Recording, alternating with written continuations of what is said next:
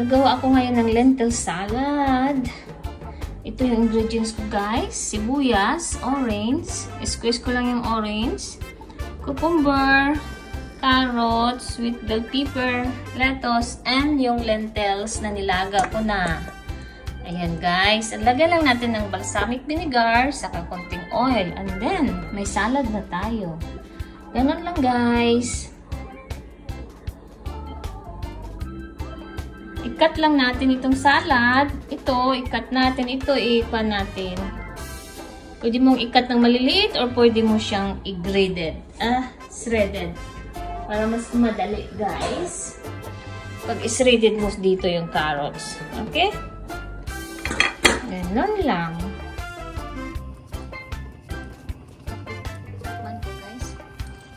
Mm, okay na. Lagyan na lang konting asin pag maglaga kayo para may lasa ang pagyan. Ayan. Mm. Luto na siya. I-drain lang natin.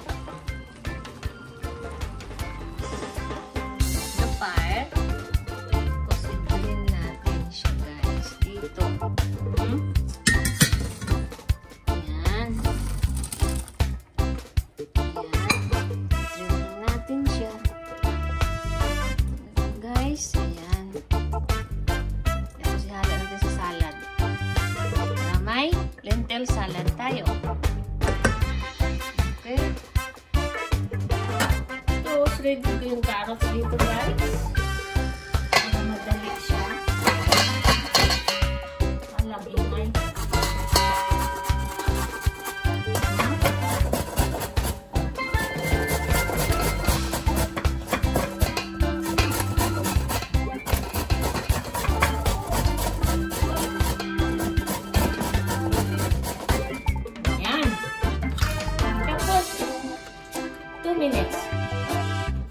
Minutes.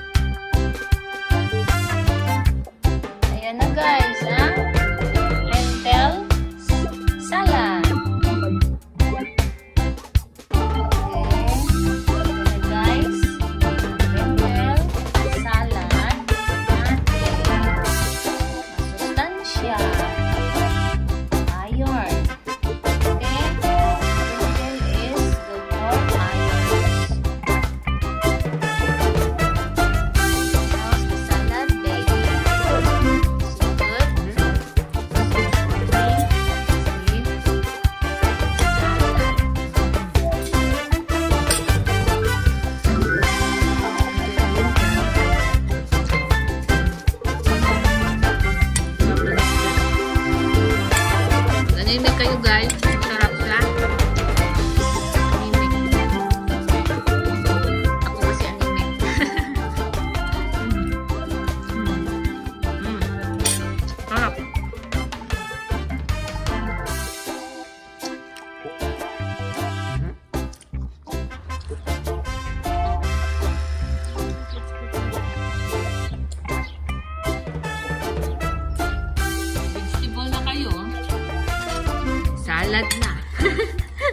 嘿 嘿